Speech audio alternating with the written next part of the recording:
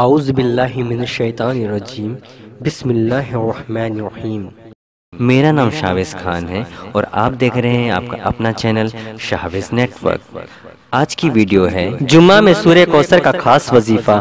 سورہ کوثر اسپیشل وظیفہ فار فرائیڈے ویڈیو شروع کرنے سے پہلے آپ سے ایک دل سے گزارش ہے کہ آپ ہمارے چینل شاویز نیٹ ورک کو سبسکرائب کر لیں اور ساتھ میں بیل آئکن بھی دبا دیں تاکہ آپ کو ہماری ویڈیو کی نوٹیفیکیشن مل جائے۔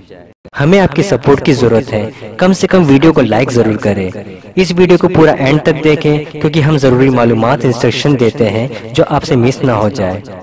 دوستو، جمعہ کا دن دوسرے دنوں کے مقابلے سب سے افضل دن مانا جاتا ہے۔ جمعہ کے دن ہی آدم علیہ السلام کو پیدا کیا گیا اور جمعہ کے دن ہی آدم علیہ السلام کی روح قبض کی گئی۔ جمعہ کے دن ہی سور پھوکا جائے گا۔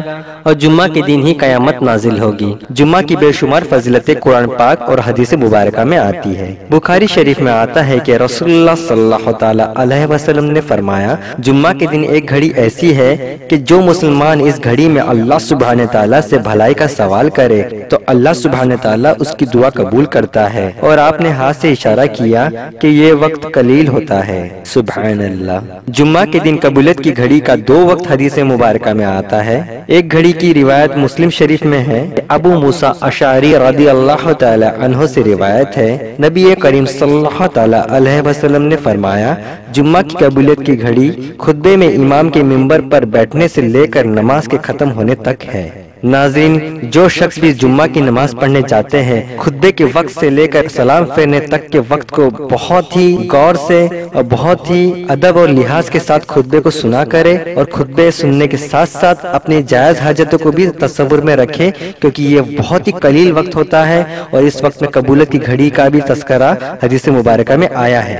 زیادہ تر حضرات بات چیت میں مشغول رہتے ہیں، کچھ لوگ تو نماز پڑھنے سے پہلے یہاں وہاں ٹہلتے رہتے ہیں، جب جماعت کھڑی ہوتی ہے تب آ کے نماز پڑھنا شروع کرتے ہیں جو صحیح طریقہ نہیں ہے۔ جمعہ کے دن آپ اطمینان سے مسجد میں آ جائے، مسجد میں سنتیں ادا کریں۔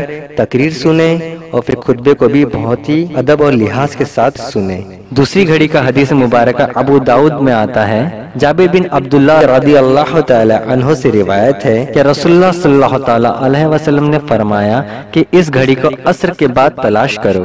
اسی بات کو دھیان میں رکھتے ہوئے ہم آپ کی خدمت میں سورہ کوثر کا خاص وظیفہ پیش کر رہے ہیں، جس کی برکت سے آپ کی تمام پریشانیاں اور رکاوٹ دور ہو جائے گی۔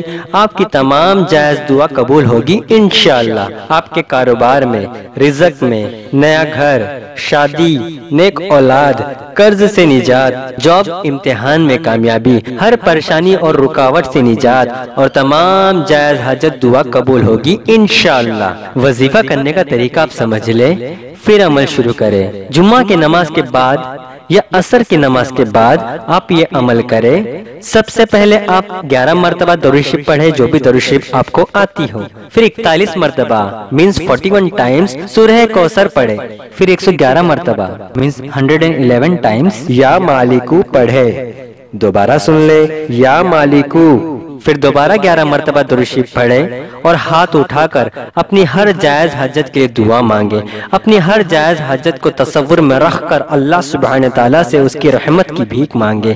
اللہ سبحانہ تعالیٰ رحم و کرم کرنے والا ہے۔ وہ ہماری ضرور سنے گا۔ آمین، ثم آمین۔ اس عمل کو کوئی بھی کر سکتا ہے۔ اس عمل کو کرنے کی ہم آپ کو اجازت دیتے ہیں۔ ویڈیو کو لائک ضرور کریں۔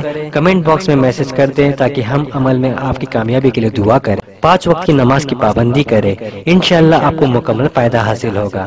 اگر آپ نے اب تک ہمارے چینل شاویز نیٹ ورک کو سبسکرائب نہیں کیا ہے تو سبسکرائب کر لیں، کیونکہ ہم آپ کی خدمت میں ایسے ہی پاورفل ویڈیو پیش کرتے رہتے ہیں۔ میرا نام ہے شاویز خان۔ ملتے ہیں پھر ایک نئے ویڈیو کے ساتھ۔ تب تک اپنا خیال رکھیے گا۔ السلام علیکم ورحمۃ اللہ وبرکاتہ۔